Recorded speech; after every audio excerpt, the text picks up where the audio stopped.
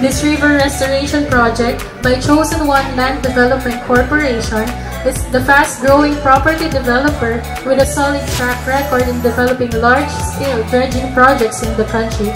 Is in accordance the ENR Administrative Order 2019-13 the rationalization of lahar dredging and sand and gravel quarrying along Bukaw, Santo Tomas, and Malova River system in the province of Zambales, and the guidelines on the issuance and or permit for dredging within waterways or other inland bodies of water gave way in the formation of a joint memorandum circular last April of 2019.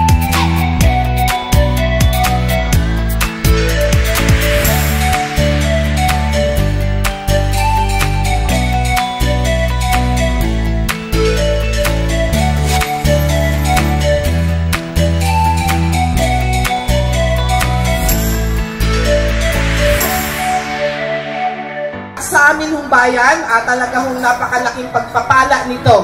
Sabi ko nga kay Gov, Sir, talaga hong itinaon ng Panginoon na kayo po ang gobernador para gawin ho itong dredging na to sapagkat alam po namin na higit po sa lahat, bayan ng Botolan, probinsya po ng Sambales ang makikinabang at ah, ito po talaga ay blessing para sa amin.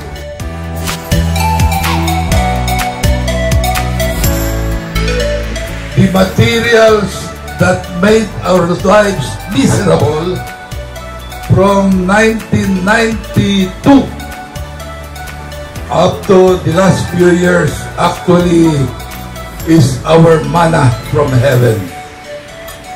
Chosen One is only one of the qualified dredging operator. There were about 39 who signified their intention aside from those who tried and only nine qualified. I am very elated because this will pave the way for the for the eventual and and uh, faster development of the province of Zambales because we will see to it that all the revenues to be collected will be put in the provincial coffer. Maraming salamat po sa inyo lahat.